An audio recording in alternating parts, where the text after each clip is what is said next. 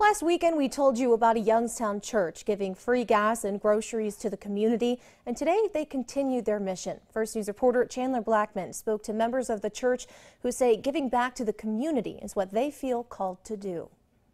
In light of COVID 19, members of the Light Church gathered at Oak Speed Check Market in Youngstown to once again give gas and groceries out to the community.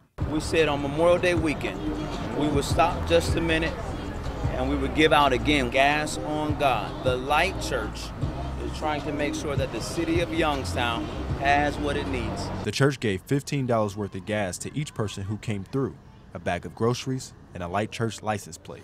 Pastor Mark says although last week's turnout was good, he didn't want their mission to stop there.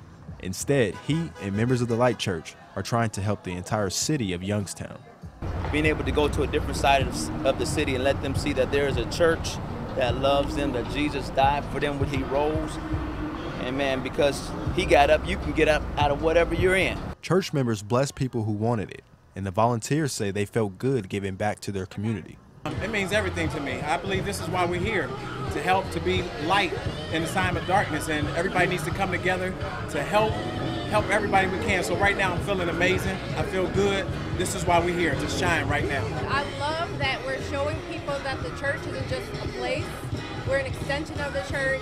We can do things outside of the church, just love in the community. We're here to just tell people that we love them. The Light Church Chief of Staff, Robin Cotton, says she loves being able to give back to the community and encourages everyone to do it if they get the chance.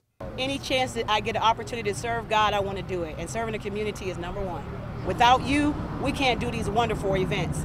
The TheLightChurch.us. In Youngstown, Chandler Blackman, WKBN 27 First News.